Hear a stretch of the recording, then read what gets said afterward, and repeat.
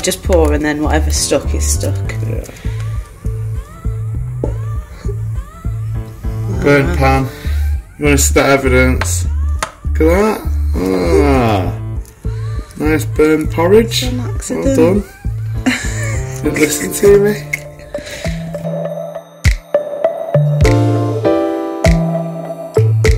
Hi guys, so today uh, is a very exciting day um, because we're going to do something a little bit different today. So I thought I would take you on uh, the, the today's journey, as it were.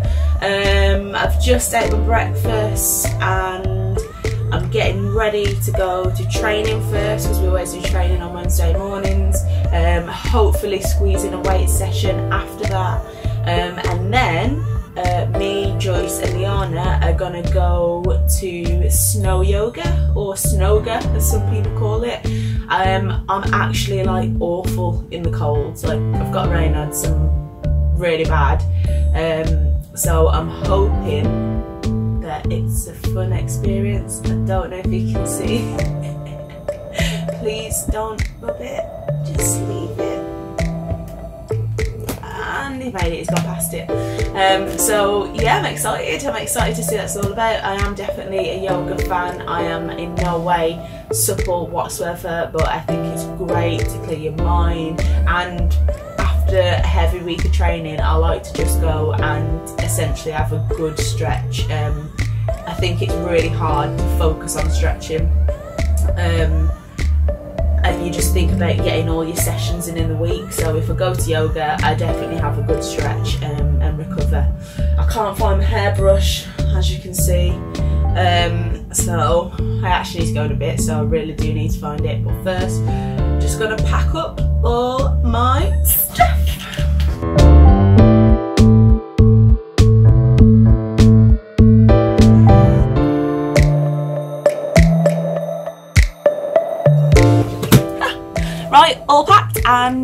To go.